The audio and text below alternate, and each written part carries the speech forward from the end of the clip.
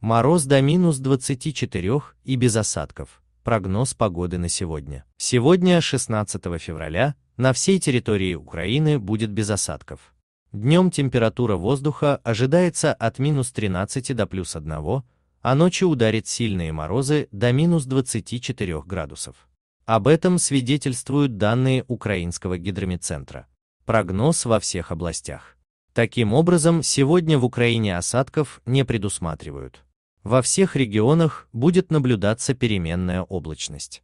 В западных областях температура воздуха днем будет от минус 9 до плюс 1 тепла, а ночью от минус 16 до минус 10 градусов. В центральных и северных областях температура воздуха днем будет колебаться от минус 13 до минус 8, а ночью она будет в пределах минус 14-минус 24. В восточных и южных областях температура воздуха днем составит от минус 9 до минус 4, а ночью столбики термометров покажут минус 19 минус 9. Погода в Киеве. В Киеве и области сегодня будет наблюдаться переменная облачность без осадков.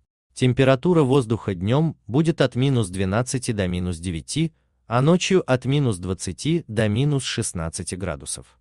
Напомним, согласно расчетам синоптиков, весна в Украине в этом году будет поздней.